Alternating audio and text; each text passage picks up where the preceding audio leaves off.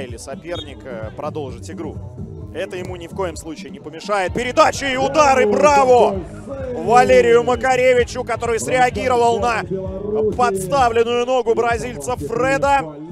С очень близкого расстояния удар отразил белорусский голкипер.